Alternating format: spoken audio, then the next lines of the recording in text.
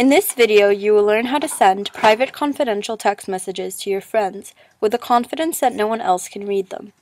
The new iPhone app, Black SMS, Protected Text, allows you to keep your messages private and protected. Here's how to send a message to Mike. Open up the app Black SMS, put in a password, and type in the message.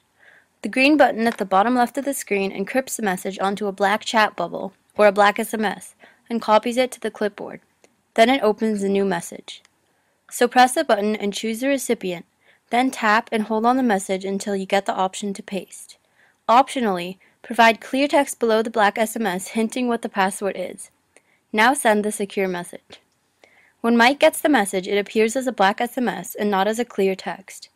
To decrypt the black SMS from John, tap and hold the black SMS bubble until given the option to copy. Then the fastest way to switch to the black SMS app is by double-clicking the Home button to bring up the multitasking bar and choosing Black SMS. Type the password in. The blue button at the bottom right of the screen pastes the black SMS and decrypts it. So press the blue button and John's message is decrypted. If Mike's girlfriend had the wrong password, the description would be a mix of weird characters. Mike could also replace the message with his own and press the green button to reply. This way the two friends can send messages securely without anybody being able to read their secret messages. Enjoy the Black SMS app, and thanks for watching this video.